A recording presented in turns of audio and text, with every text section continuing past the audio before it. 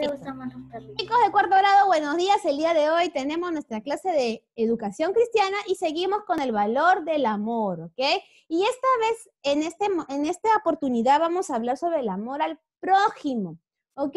¿Qué significaba el prójimo? A ver, necesito que todos participen, así que todos me está a tu lado?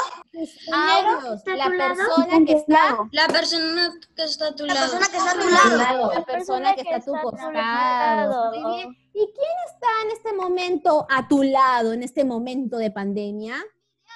Nuestros padres. Exactamente. Entonces, debemos compartir amor a nuestras familias, debemos compartir amor a nuestras familias, ¿ok? Y el día de hoy vamos a hablar sobre el amor al prójimo. El día de hoy vamos a hablar sobre un ejemplo muy bonito de amor y eso que a pesar de que no era familia directa, no es familia directa, no es familia de sangre, sino que él lo consideraba parte de la familia, era como su hermano, él igual quiso ayudarlo. Vamos a empezar.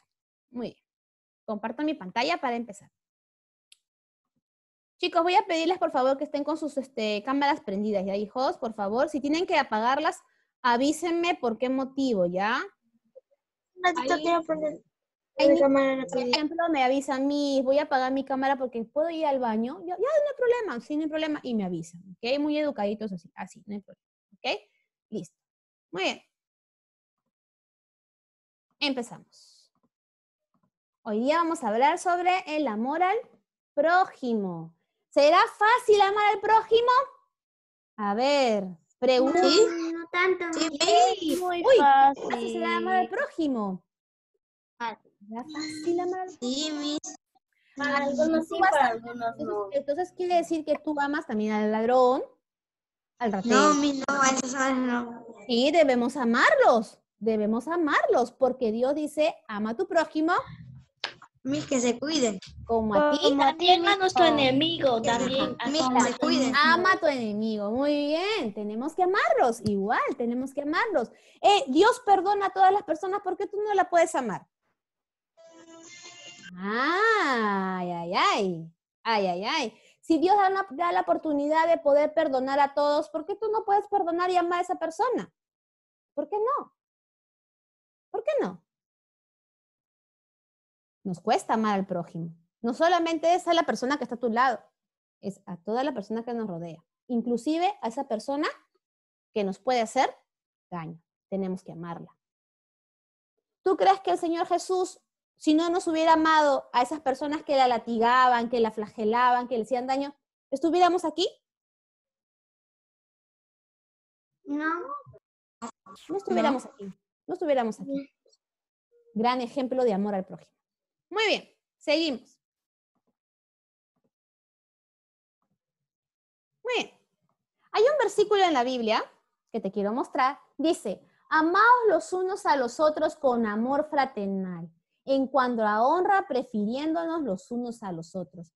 Este versículo nos enseña a que debemos amarnos con amor fraternal y honrarnos, o sea, también respetarnos.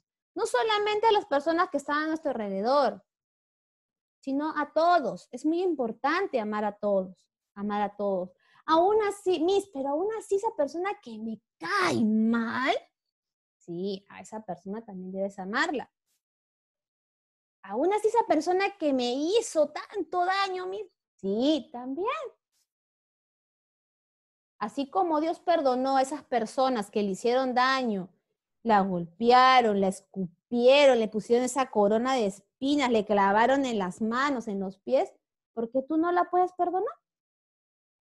¿Y Yo lo seguí ¿Por qué tú no la puedes amar? Dios ama. Dios da oportunidad y nosotros también debemos amarla. Mis Dios ama a todos, mis.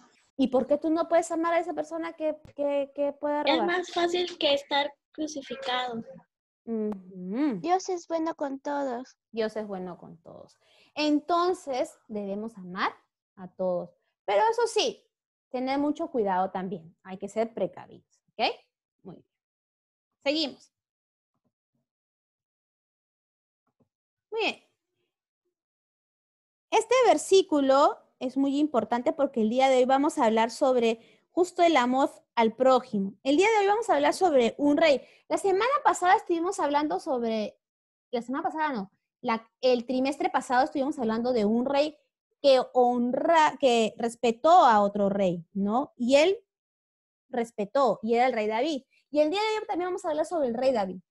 Vamos a hablar sobre el rey David y vamos a ver, vamos a ver un ejemplo de amor hacia el prójimo. Vamos a verlo.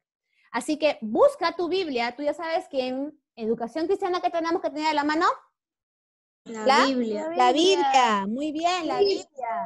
Vamos al capítulo, al libro de Samuel. Se- Samuel, vamos al libro de Samuel. Listo. Empezamos. Samuel. Vamos, voy a empezar.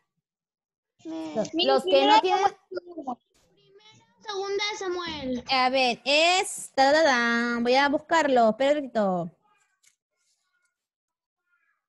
Segunda de Samuel.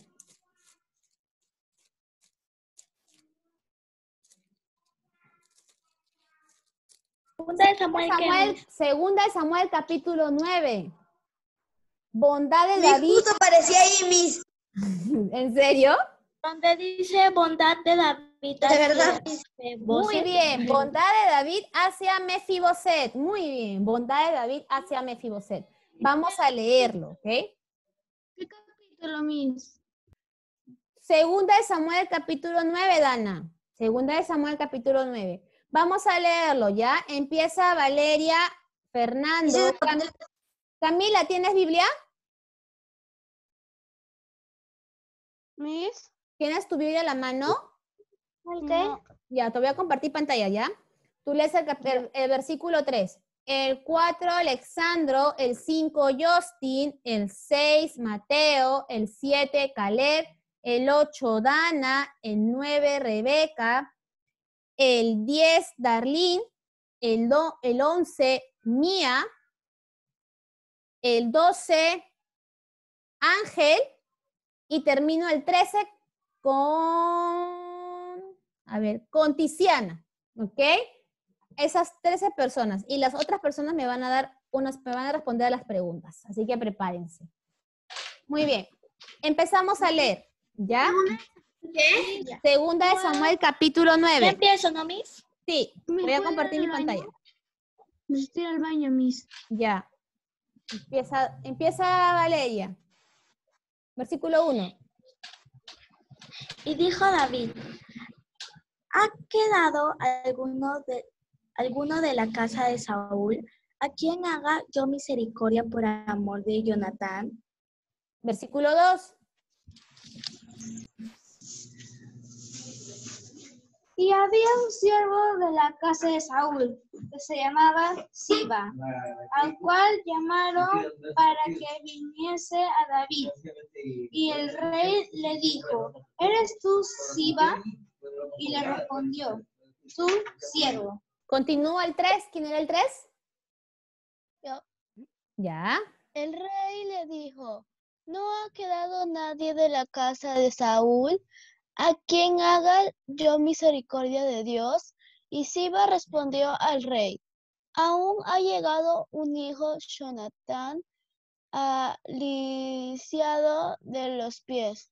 Ok, es Jonatán, ya chicos, Jonatán. Ok, lisiado de los pies. ¿Qué quiere decir la palabra lisiado? Lisiado quiere decir que no podía caminar, era inválido, ¿ok? No podía caminar. No podía caminar, era inválido, ¿ok? Muy bien, continuamos. Versículo 4. Entonces el rey le preguntó, ¿dónde está? Y Siba respondió al rey, he aquí, está en casa de Maquir, hijo de Amiel, en Lodebar. Muy bien, continuamos. Versículo 5.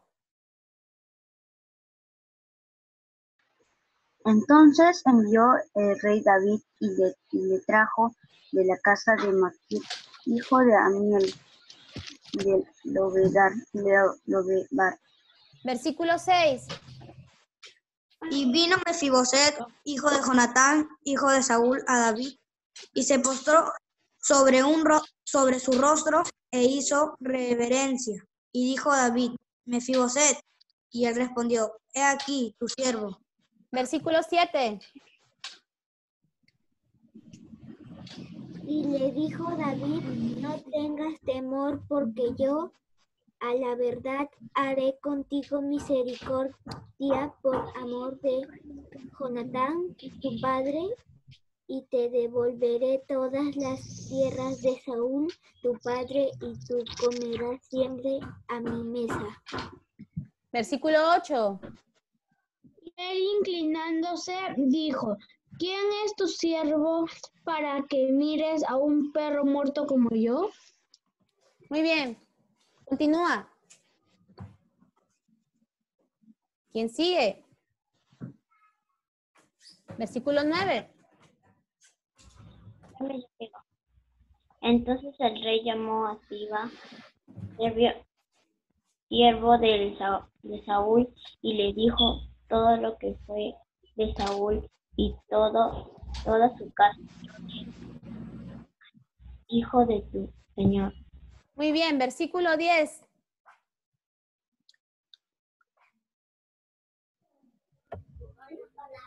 Tú pues le labrarás las tierras tú con tus hijos y tus siervos, y, alma- y almacenarás los frutos para que el hijo de tu señor venga, señor tenga para tenga pan para comer, pero Mefiboset, el hijo de tu señor, comerá siempre a mi mesa. Y tenía Siba quince hijos y veinte siervos. Ok, versículo 11. Y respondió Siba al rey, conforme a todo lo que ha mandado mi señor, el rey siervo, así lo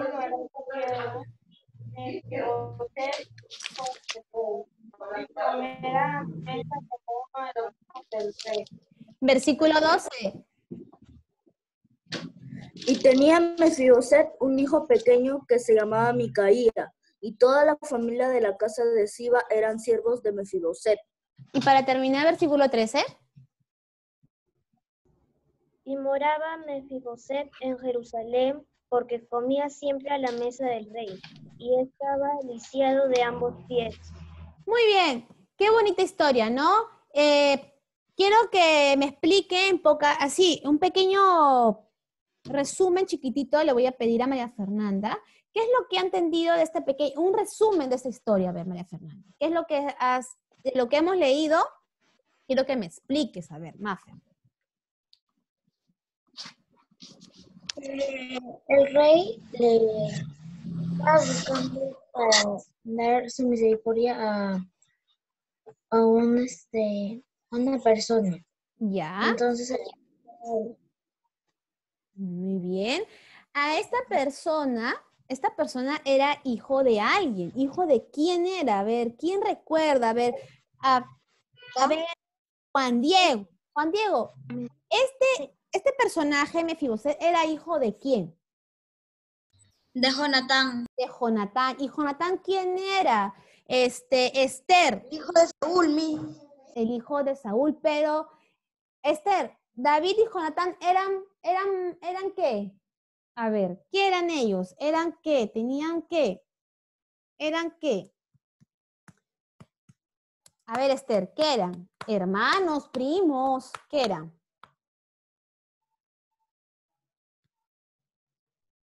Mis. A ver. Eran que, a ver, Ayelet, ¿qué era, qué era Jonatán y David? ¿Qué eran? ¿Eran hermanos, primos, tíos, sobrinos, abuelos? ¿Qué eran?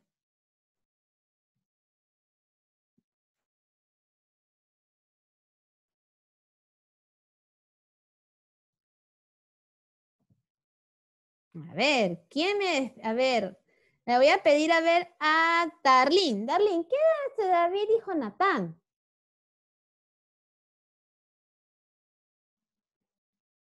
primos, ¿Primos? Ujú, No. Fernando, ¿Siervos? ¿siervos? No. Caleb, buenos amigos. eran buenos amigos. Muy bien, eran buenos amigos.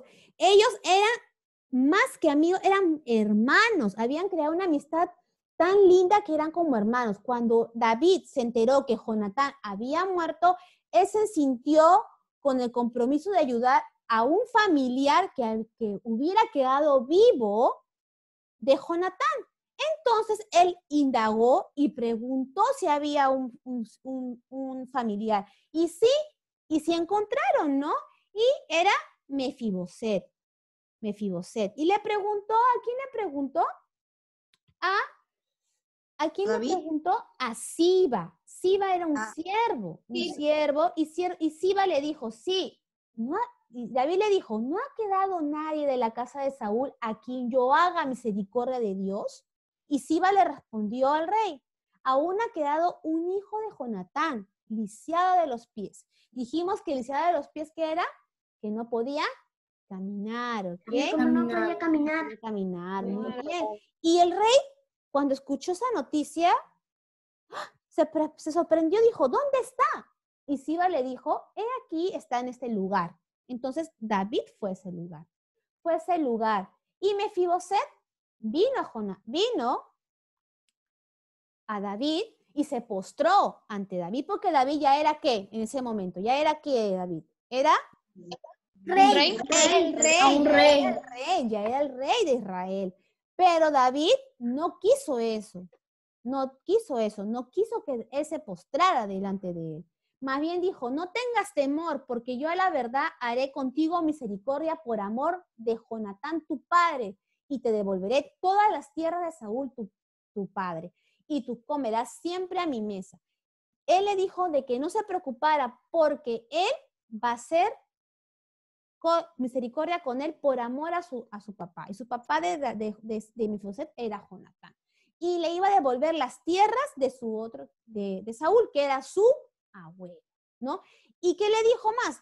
Y tú comerás siempre a mi mesa. Que él iba a comer siempre a la mesa del rey. Qué gran, ah, qué gran ejemplo de amor al prójimo. Él no era un familiar, Lo ayudó, mis. lo ayudó por amor, Ayudó. por amor. Qué gran ejemplo de amor al prójimo. No era un familiar, no era su primo, no era su tío, no era su abuelo, no su papá. Era solamente el hijo de su mejor amigo. Pero aún así se sintió comprometido y lo ayudó. Por amor a su amigo. Porque él era más que su amigo, era más un hermano. Y también él, David, amaba también al rey Saúl, porque para él, si- él seguía siendo su rey, lo respetaba. Entonces le dijo, entonces el rey llamó a Siba, siervo de Saúl, y le dijo, todo lo que fue de Saúl y toda su casa yo le he dado al hijo de tu señor. Al final David le dijo a Siba que todo lo que era de Saúl le ha dado a él.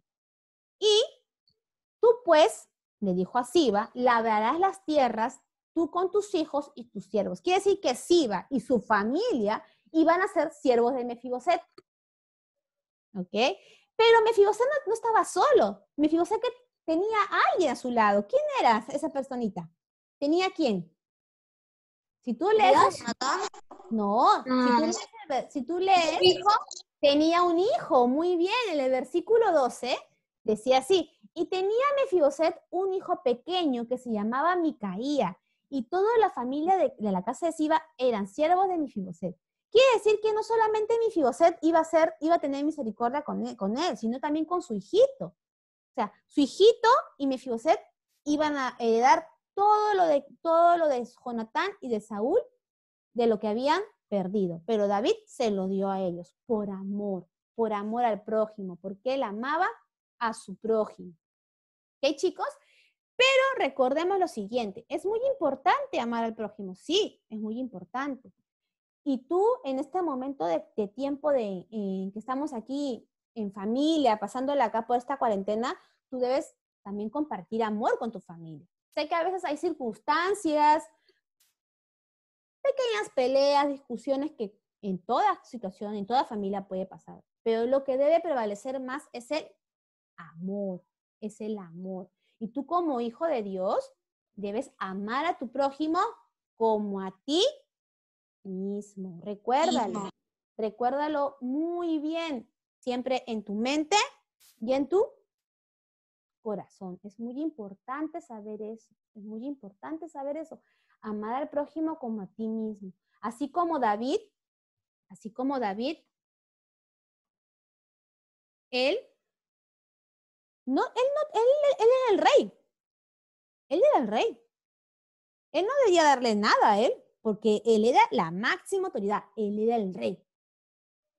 Pero no, él amaba a su amigo y por amor a su amigo ayudó al hijo de su amigo.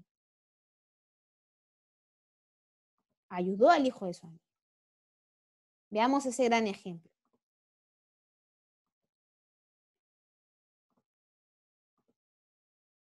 Amor al prójimo por un futuro mejor. Si quieres tener un bonito futuro, un, buen, un futuro mejor, ama al prójimo.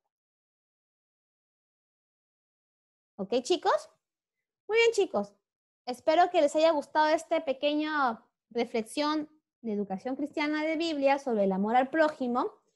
Eh, recuerda que en este tiempo de, de, de, cuarentena, siempre recuerda que el valor de este, este valor del amor es muy importante y te ayuda sobre todo a que a discernir entre lo bueno y lo malo. Y también a que debes amar al prójimo como a ti mismo. Muy bien, chicos. No hay tarea el día de hoy, no les dejo tarea, no les dejo para nada tarea. Descansen, descansen y nos vemos a las 12. ¿Ok, chicos? Cuídense. Nos vemos a las 11 de la mañana publicando Plan Lector. Ah, les cuento, dos historias de Plan Lector les he publicado, dos historias, prepárense. Adiós, bye bye, chao, chao. Adiós. Adiós.